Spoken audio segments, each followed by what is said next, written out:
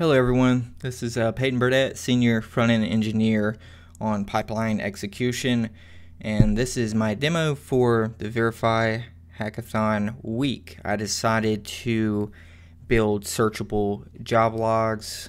Um, been wanting this feature for a while. It's a little bit of a rough feature, but um, I guess that's the point, just to get something out um, during the hackathon week. All right, so right here we're on a pipeline, and I have this job called large log output. If we click on that, uh, it will take us to the job. Um, and I've just used the bash script um, to output uh, a good many uh, random strings for testing purposes. Um, let's see if I can move this down a little bit because there we go. Okay, now we should see the bottom. Okay, so um, by default right now, uh, we expand all collapsible sections on load.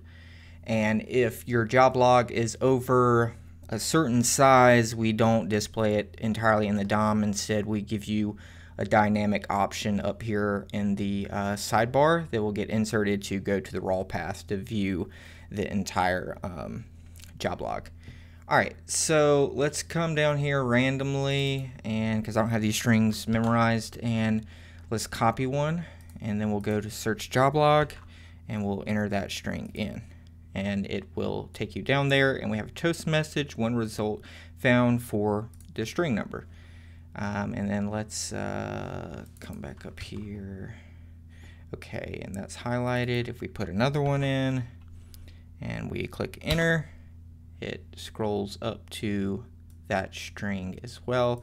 And then I know I have Docker written a few times, so I'll click Docker, and that will highlight all instances of that string as well.